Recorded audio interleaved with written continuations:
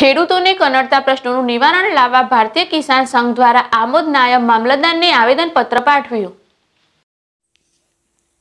આમોદ તાલુકાના ખેડૂતોએ એકત્ર થઈ ખેડૂતોને કનડતા પ્રશ્નોનું નિરાકરણ લાવવા માટે તેમજ ઉત્પાદન ખર્ચના આધાર ઉપર લાભદાયી ભાવોની માંગણીને લઈને આમોદ નાયબ મામલતદારને રાષ્ટ્રપતિને સંબોધી આવેદનપત્ર આપ્યું હતું.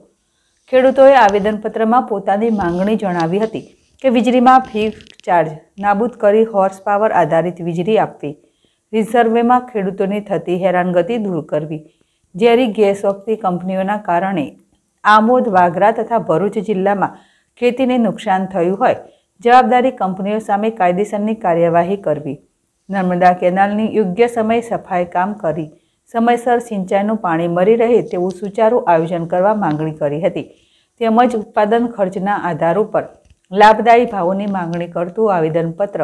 આમોદ નાયબ મામલતદારને ભારતીય કિસાન સંઘના આમોદ તાલુકા સંયોજક ઇન્દ્રસિંહ રાણા સહિત ખેડૂત આગેવાનો ઉપસ્થિત રહ્યા હતા. વલીભાઈ બાબરિયા, જેડેશ ટીવી ભરૂચ.